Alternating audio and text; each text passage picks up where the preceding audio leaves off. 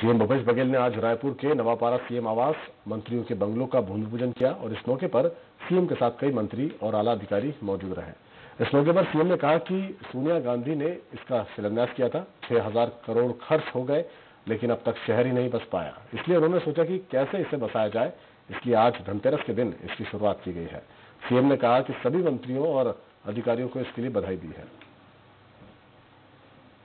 नया राजधानी के शिलान्यास